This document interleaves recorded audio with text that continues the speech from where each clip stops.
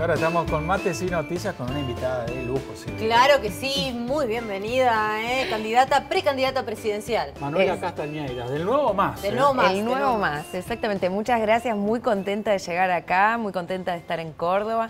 Ahí atrás de cámara está conmigo Julia Di Santi, que es nuestra precandidata a diputada en la lista nacional y además de una queridísima compañera de amiga, así que llego a Córdoba y también me siento como en casa de ver todos estos compañeros y compañeras tan queridos. Vengo de Entre Ríos, les contaba recién. ¿Es tu pago Entre Ríos? Es mi pago, yo soy paranaense, nacida y criada, como decimos, viste, en el interior. Eh, y me fui a Buenos Aires a estudiar, como muchos chicos, y bueno, y ahí me quedé y empecé la militancia. En realidad empecé mi militancia en Buenos Aires soy socióloga, egresada de la U, estudié, la maestría está ahí.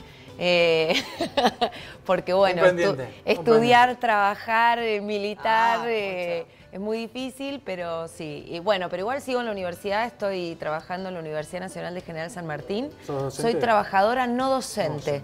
Me dedico a una cosa que es bastante específica que tiene que ver con los estudios de posgrado, con la calidad, la acreditación y la validez nacional. Estoy hace más de 10 años trabajando en eso, pero lo cuento porque creo que soy la, una la única precandidata a presidente junto con Lucas Ruiz, que es mi compañero de fórmula, que podemos traer recibo de sueldo y decir yo trabajo, vivo mi trabajo. No soy de la casta. No soy.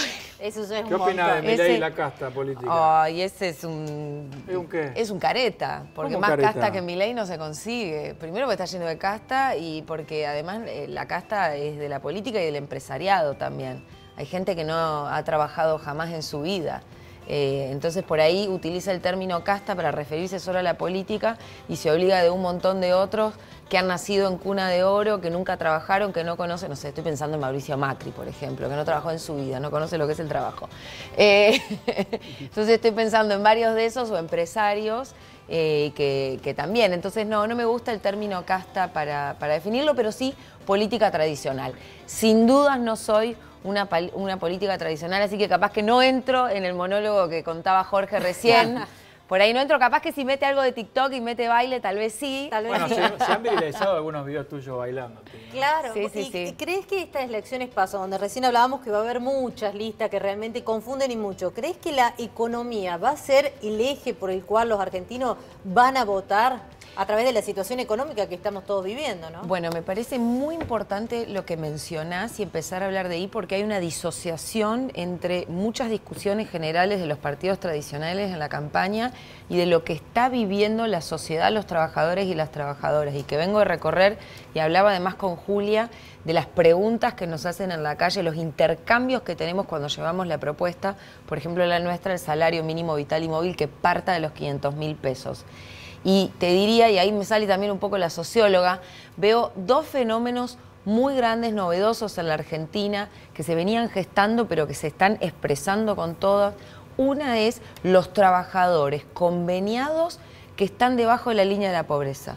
O sea, que tienen trabajo registrado en blanco y aún... De industrias emblema. Somos, somos pobres. Industrias emblema. Venimos del paro de la UOM la industria blanca, eh, de, livianos y de blanco, lo que se dice, poner lavarropas y demás, que en otras décadas era, eh, te podías hacer tu casa, tu trabajo, un orgullo. Cambiar el auto. 103 mil pesos, 105 mil pesos, 140 mil pesos. pero si yo se escucho, Manuela, bueno, 500 mil pesos de salario básico. Uno dice, ¿quién puede estar en contra? Pero al mismo tiempo te digo, bueno, pero estamos muy lejos porque hoy el salario inicial está en menos de 100 mil pesos. 117 mil se va a ir más o menos ahora. Sí. Eh, Vos sabés que es interesante eso, porque al principio, eh, ahora dicen no, no podemos estar en contra, y eso es importante, y es mérito de este debate, de esta propuesta, de empezar a ponerle un número a lo que significa vivir de tu trabajo en la Argentina y lo destruido que está el salario. Entonces se empezó a reconocer porque a veces con la discusión de la paritaria, de los porcentajes de la inflación, viste, 38%, 40%,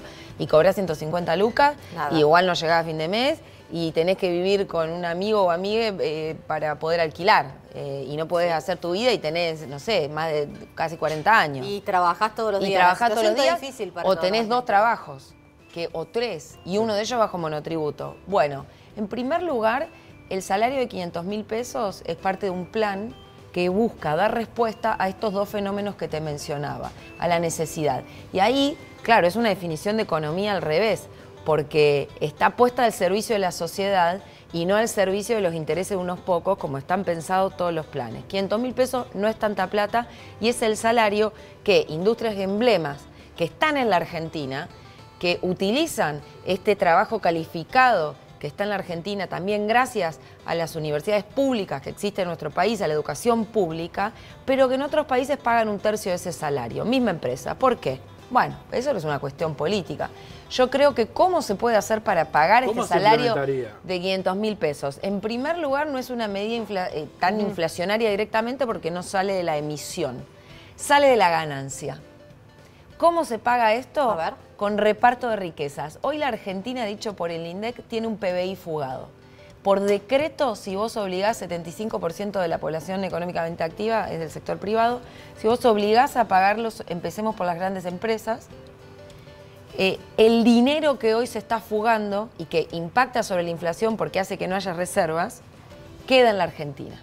Si queda en la Argentina, queda en el salario, mejorás la situación económica y mejorás el consumo del mercado Pero no se implementaría en todo el universo de trabajadores. Por ejemplo, nos pregunta un televidente, ¿cómo se implementaría en mi kiosco que tengo dos Excelente pregunta.